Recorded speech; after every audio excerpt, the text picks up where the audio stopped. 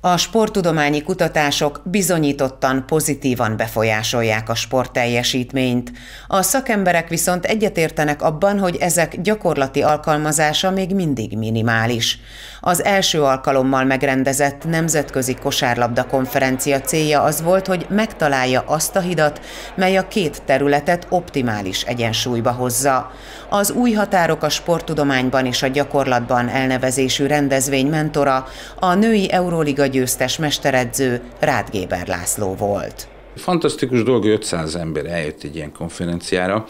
Mi itt ütköztetjük a, a, a sporttudományt a, a gyakorlattal, és valójában a magyar sport az egy stratégiai ágazata, a, és, és, és oda kell figyelnünk. Tehát valójában egy fantasztikus infrastruktúrális fejlesztések történtek, fantasztikus eszközpark, és ezt kell megértetni, hogy ez, a, ez nem a kényelem, hanem ez a kemény munkának a helye, a, a telephelye.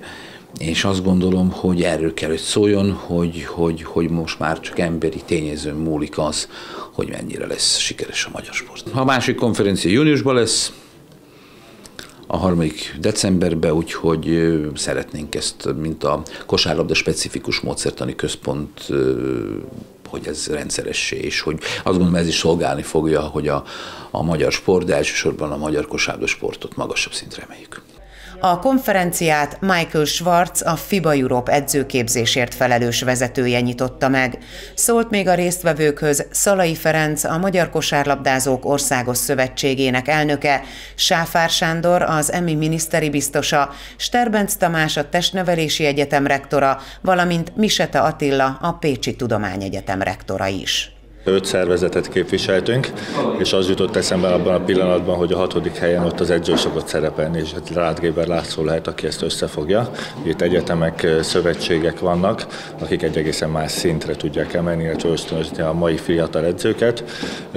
Az utóbbi években már komoly lépéseket tettünk, hiszen elindult Budapesten a testnevelési egyetemen, itt a Pécsi Egyetemen is a felsőfokú edzőképzés, de azt hiszem, hogy ez a nemzetközi vonulat a legjobb gyakorló szakemberek tudásának a bevonása, az egy komoly új löketet fog adni. Nagyon nagy erőket mozgatunk meg azért, hogy a magyar kosárlabda azon belül különösen az edzőképzés az nemzetközi szintre emelkedjen, és azt hiszem, hogy egy lehetőség az, hogy az egyetemek, a Módszertani Központ, a Rádgéber Akadémia, a Magyar Szövetség, illetve a FIBA Európa közösen szervez egy ilyen nemzetközi edzőképzést.